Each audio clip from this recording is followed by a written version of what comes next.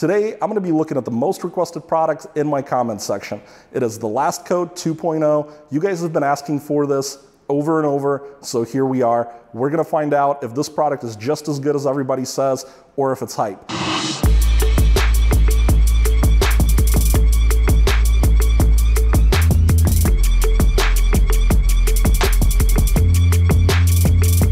Because we're just testing one product today, we're gonna be focusing on this side. Now, as usual, I've prepped this with a light polish. Now, the first thing we wanna do is shake this bad boy up.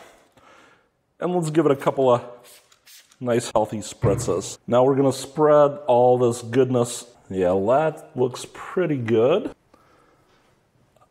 Now, they do tell you that you can do multiple coats, but as usual, we're doing one for our testing. That's what we do with all the products. Now, what we're gonna do is let this bad boy cure for 24 hours. Now that we've got the product applied and we're just waiting for the cure time, let's talk about how easy it was to use. So if you're tuning in for the first time, I score slickness, visual appeal, and ease of application as a pass or fail. So we either give it a point or we don't give it a point if it fails. This product was a truly easy spray on wipe off solution. Just like they said, it was very simple, no streaking, no mess. So this product absolutely gets one point for ease of use. Also, as a quick reminder, there are links to all the products we're testing today down below in the description. They're Amazon affiliate links. And if you click through those, you're able to purchase the products or anything at all on Amazon. And I get a very small commission that helps me run the channel. Here we use this panel along with my gloss meter to determine if the product is improving or hurting the gloss. This side of the panel has not been treated and this side has. This side reads around 94 gloss units and we will find out where this treated side is. It has cured for 24 hours, just like the panel. First thing we wanna do is turn on our meter and we wanna recalibrate it. We want that to say 104. And now we're gonna kind of stick it over here and you can see it reads right around 94 gloss units. Now, if we go over here, we will take five readings and total them up. So up here, it looks like we got about 83.2. And over in this corner, we're getting about 85.4. And in the middle, it looks like it's about 84.6, 84.7. Looks like only about 81, 81.1 will be generous in that corner. And we see we're still calibrated at 104. And we got a score of 419, which we're gonna divide by five to average for an average of 83.8 as the gloss unit score. Now we're gonna subtract our average of 94 and it looks like we lost about 10.2 gloss units. That is probably one of the biggest losses I've seen. Now look guys, that doesn't necessarily mean this product is bad. In fact, we find some of the prettier products knock down gloss. They go on thick. They're almost like a second clear coat. A lot of times they're just not as great at reflecting light. I can already kind of see that here actually. The reflection is very clean. I think if I use this flashlight, I can probably demonstrate what I mean. It feels like the reflection is very diffuse on this side. And as we move it over here, you can see the reflection pattern is bigger. See how this product responds to isopropyl alcohol? I've got this 70% ISO and we're gonna spray some on.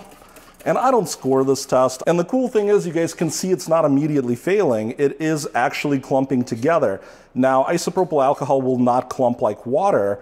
It just doesn't have as much uh, surface tension. Once it is able to dissolve the wax, it usually stops clumping altogether while water will always still kind of clump. So what we're gonna do now is we're gonna wipe around and see if it will act as a nonpolar solvent. It might take a couple of applications or it might never come off. And we could see that in one pass, it is still bubbling up. So let's see if a second pass gets it. We also saw much the same thing with the turtle wax, uh, seal and shine it was very resistive to isopropyl alcohol. Uh, I think we're starting to see a little breakdown. So we have a puddle over here. Seems to be slowly but surely wiping up. And now we're really seeing it. Guys, this is still very impressive. You could tell much more of it has failed where there's really no more surface tension, and but you still see there are areas that are working. So I'm reasonably impressed. I would say that this is fairly resistive to ISO. I would not expect that just by giving your car an isopropyl bath that you could say you've decontaminated it and stripped it of the wax. Yeah, there we go, guys. Now you can see it's totally failed. There's uh, maybe little tiny pockets of product left. So that was quite a few soakings in isopropyl. One of the things we can do now is get our handy little gloss meter and see where we are on gloss.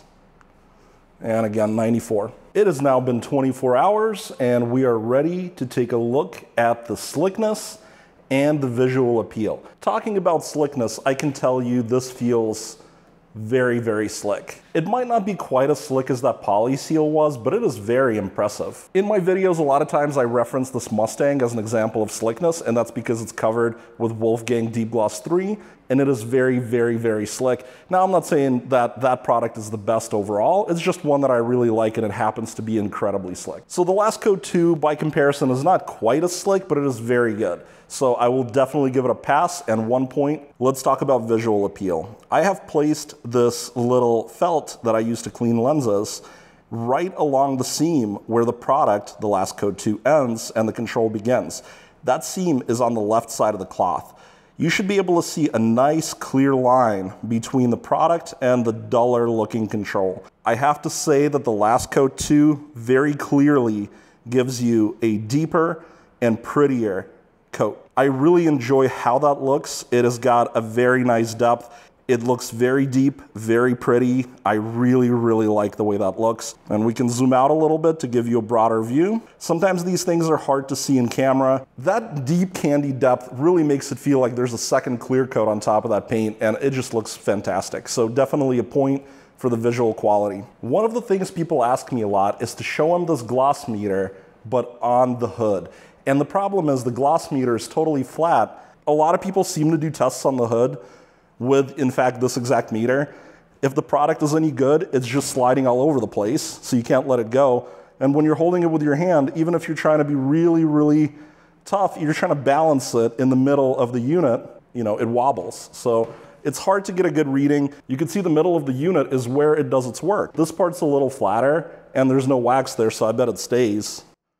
If you guys are enjoying this video, I wanted to remind you that there is a website with all these results and it's down below in the description. Secondly, I wanted to ask if you're enjoying the video to please remember to subscribe, click like, and leave me a nice comment. And it's really nice when you guys suggest products that I may have not known about. So all of that is just really cool and I hope to see you guys there. All right guys, we are now at the durability testing portion of our video. We'll be using this panel here in combination with Adam's car shampoo, which we have tested to be pH neutral. And I'll link a video right here in your top corner where you can see that testing. We're also gonna use Adam's foam cannon to deliver our foam. It's been diluted and set up the same way as every test. And we're gonna use the same sponge that we've been using. Now to remind you guys, this is the side with the product and then this side is purely control and then the very bottom there is also the control. Let's first see just how hydrophobic the last coat is.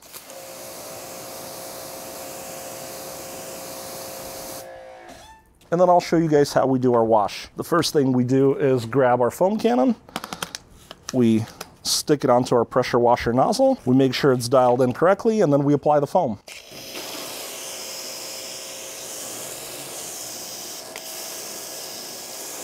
Then we grab our foam pad and we apply some foam to it.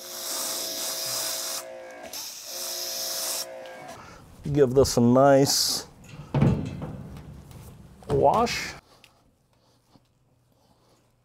Now I'm sure you guys can already see the line that's forming on this side that is the separator between the control and the treated. So let's wash it all off in our first rinse.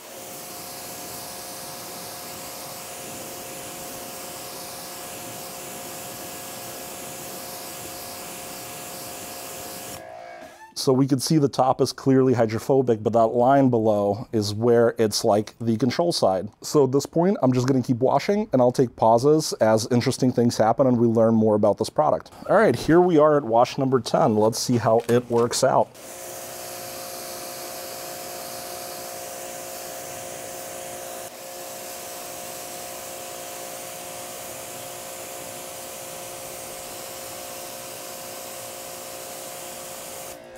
That is not bad at all. It's starting to degrade maybe a little bit. Very impressive for 10N. All right guys, let's do the 20th wash together. Yes, I am up to 20.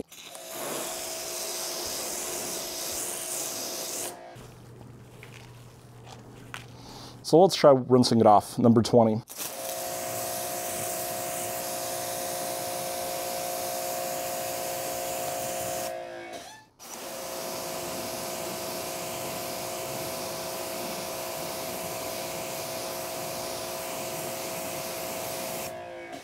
So you can see there are definitely some dead areas, but the product is still overall working.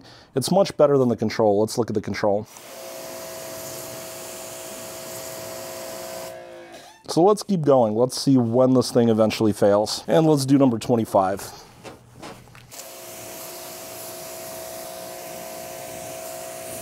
Let's blast it.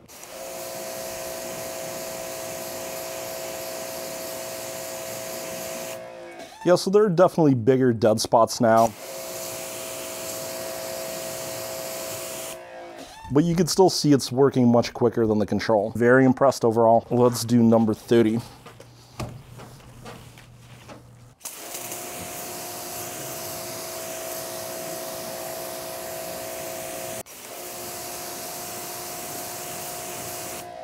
So there's what our control looks like, and let's try this side again.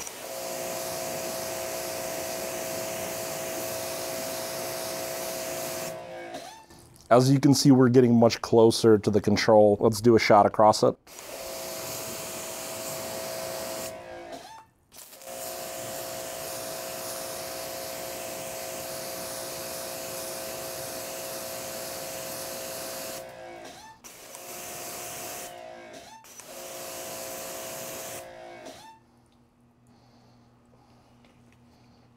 So guys, what were my final thoughts on this product? It is very impressive at 38 washes. There are other products in other categories that have more durability, certainly spray coatings, things like that. I will say for the ease of use and the cost and everything else, it does make sense. You could really compare it to like the Turtle Wax Seal and Shine. I think the difference between those two products is really gonna be whether you prefer to retain more gloss and have a little less durability, which would be the Turtle Wax, and then if you were going to use the last coat 2.0, I think it would be because you cared more about the depth and the candy coat, which is very visually pleasing, but maybe not quite as glossy. And then you wanted the extra durability. But overall, I want to say this is just a really great product. I could definitely see myself using it. It has an application and an arsenal. I wish they could get the gloss up a little bit. I was a little disappointed in that area, but the durability was really impressive for a spray product. So easy to use. That is really cool. So whatever they're doing, it's working.